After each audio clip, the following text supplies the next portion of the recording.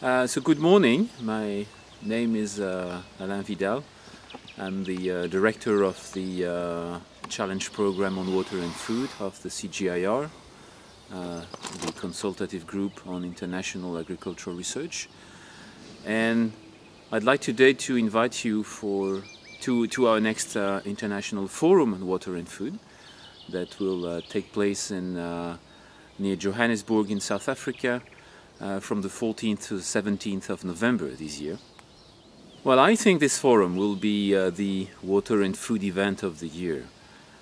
Uh, it, it comes very timely. Uh, we are on a year where uh, everyone recognizes that uh, we have a looming food crisis, that we'll need to feed uh, an increasing population will probably need to double the food production by 2050. And at the same time, uh, a lot of people have realized that uh, we've reached the uh, planetary boundaries, that we've come to a, time where uh, our resources are limited, especially water. And so we'll need to produce more food, and at the same time, the uh, water resources are limited we have a few examples of such uh, successful solutions. Uh, one example I've have, I have in mind is in the uh, uh Andes region in uh, South America, where a series of mechanisms to share benefits between upstream and downstream user, users show that we can at the same time maintain or even improve the water ecosystems, the rivers, the wetland state, and at the same time increase the income of uh, farmers through better farming, better conservation agriculture, and better uh, livestock practice.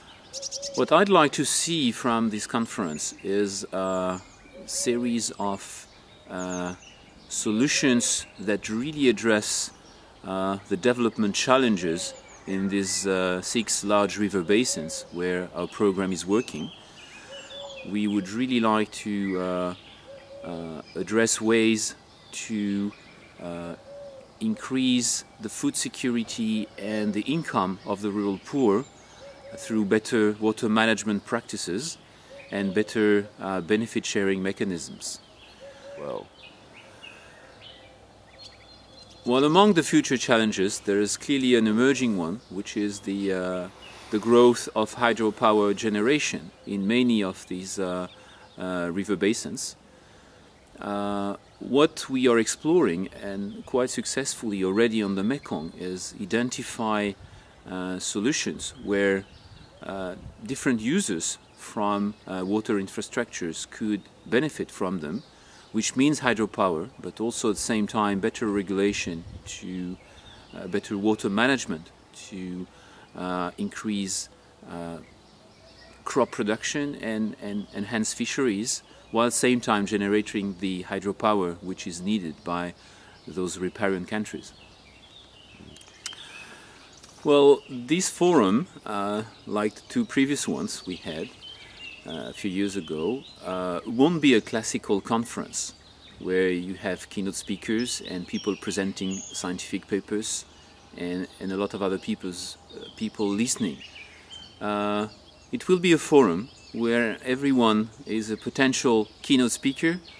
Uh, everyone will have an opportunity uh, to uh, bring his or her new ideas, challenges, uh, and bring energy to this forum.